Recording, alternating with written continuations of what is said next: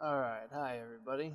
Leoric here again, also known as Yso, for those of you who know me by that. Um, this is gonna just be a quick little video, hopefully, hopefully quick, about my uh, way to easily level your battle pets. Um, I just happened to stumble upon it. I'm sure other people have figured it out before me, but I'm just gonna share with you anyway. So, um, first and foremost, uh, have a pet that you want to level, have something that can counter an elemental, and have a pet, preferably um, pedal feet, that can hit multiple enemies with its abilities while not hitting them too hard. Uh, for example, Tidal Wave and this uh, Rapid Fire ability. Now, reason why I say um, a multi target ability is um, mostly because we don't ever want to fight Karadai or Sloppus.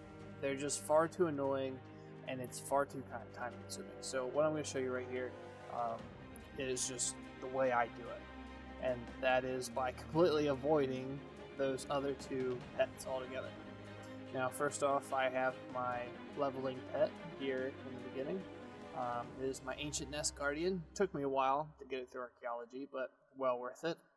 Just I think that that model is just so cool. Um, I switch to pedal feet and I just start spamming my rapid fire. There's uh, there's not a lot not a lot to do. Um, so just sit back and relax. Uh, you get to click one button for quite a while. But what this does is you'll notice that it's hitting all three mobs, all three pets. Yeah, it doesn't do a lot of damage, but I'm also not dying. See, I should have died right there. But because the pet has an ability called Weakening Blow that doesn't take you below one health, um, you can pretty much just live forever. Which is what I'm gonna do, live forever. And just gonna chill here, shoot these two guys over and over and over and over again.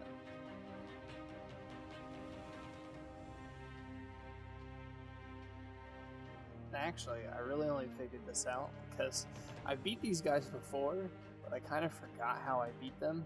So I was perusing Wowhead earlier today, and uh, in the comments after just looking up one of the, the battle pets names, uh, somebody had mentioned to use pedal feet and they said just spam rapid fire until Karadai and uh, Sloppus died.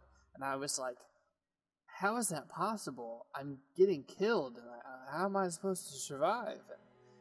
It didn't dawn on me until a lot later that Pedal Feet doesn't die, or none of your other pets will die, so long as you keep up Mr. Terrible. He just keeps hitting you with weak blow. So that was a total, you know, light bulb moment there afterwards. Um, you also notice that he does an ability called Spiked Skin, um, which pretty much absorbs anything that is 115 damage and under. So you don't do any damage um, to him unless he doesn't have that off. Which is also why I haven't killed myself yet.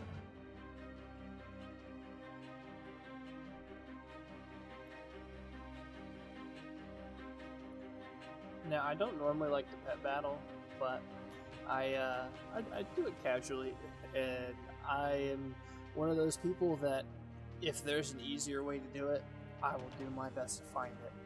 Um, because I cannot stand leveling pets.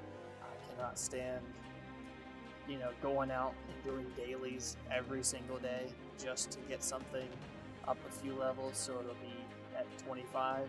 I just, I don't like doing it. And it's really nice that I found that I could do it this way. So um, while I have this pet battle up today, I'm going to keep doing it until I uh, level a few more pets. Now, unfortunately, you can't get any more of those marks of, you know, pet battle uh, stuff that gives you the eight charms because it's daily, which is okay. This is perfectly fine with me.